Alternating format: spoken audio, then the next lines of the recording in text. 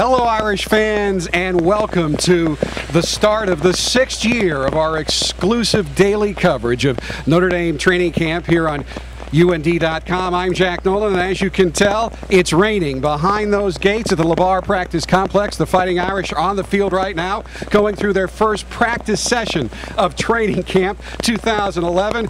And this is the way it's been for the last 25 minutes or so. It's been pouring during practice, but as one coach said, the rain makes you concentrate a little bit more. And that's what the Irish are doing.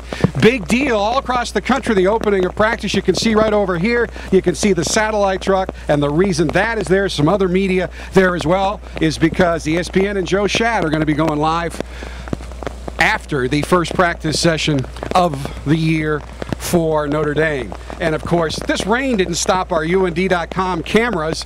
We've got all the action that took place up to this point. We've got a lot to show you. I know you're very excited about seeing some of the newcomers and the veterans as well. They're in shorts and helmets today, and they're soaked, but they're working hard. So here's a look at the first practice of training camp for the Fighting Irish football team.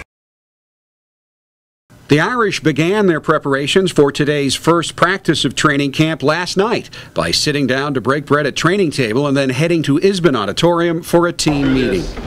I need your attention.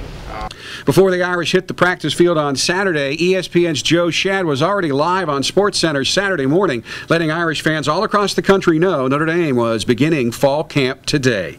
Meanwhile, this afternoon, the team broke into position groups and headed to their respective meeting rooms in the Gug. Around 2:15, one of the student managers sounded the horn signaling the players that it was time to head to the locker room, grab their practice gear, and get dressed for practice.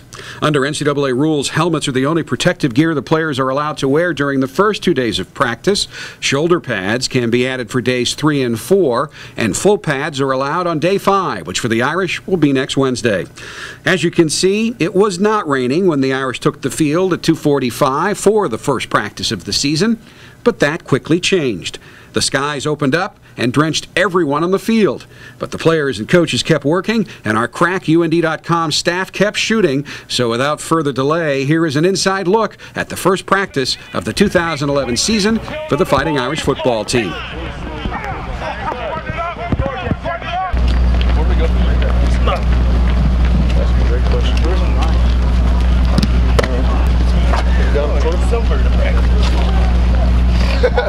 Hey, what's good, baby?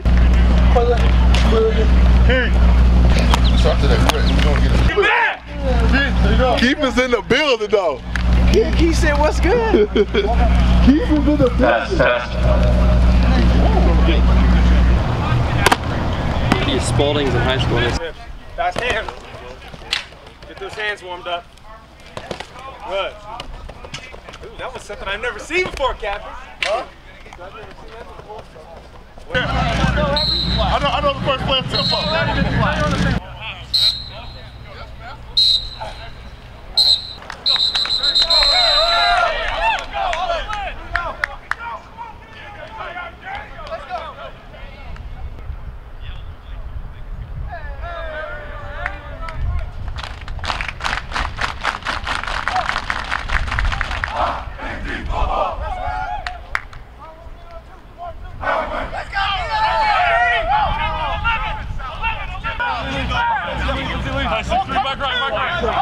Good.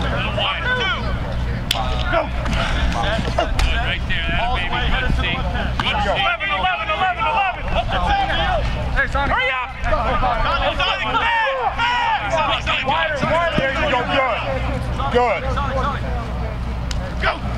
Wet, wet, wet, wet, wet,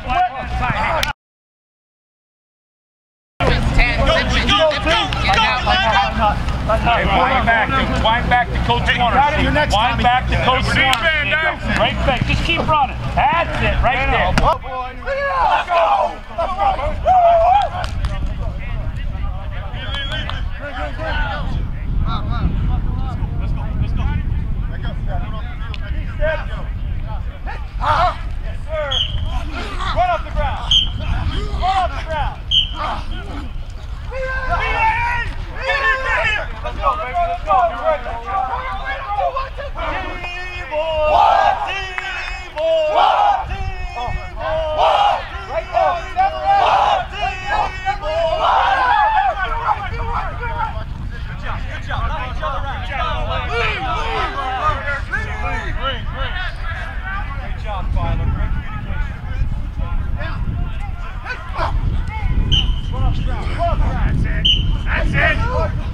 That's it, Foxy. Let's go. Yeah, yeah, yeah, get in, get.